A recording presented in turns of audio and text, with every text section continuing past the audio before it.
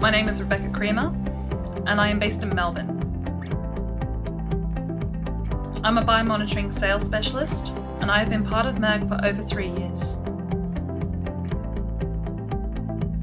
As a biomonitoring specialist, I support our customers in all aspects of their microbiological testing requirements.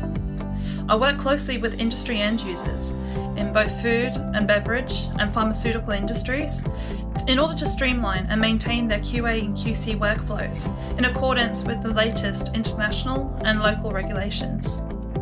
I support customers not only with quality products, but also with on-site demonstrations of new technologies, providing educational talks on relevant or current topics, and ongoing troubleshooting support in their day-to-day -day testing.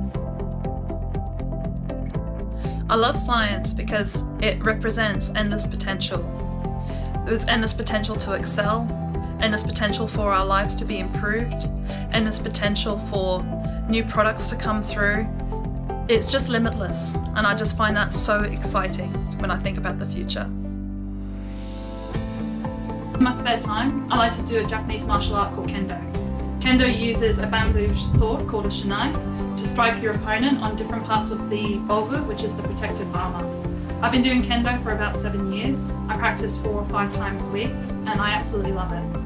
私は日本の文化に興味があるので、日本語を勉強しています。5年間、日本語を勉強していて、とても楽しいと思います。The other thing I like to do in my spare time is to sew. I really enjoy quilting and making quilts like this one.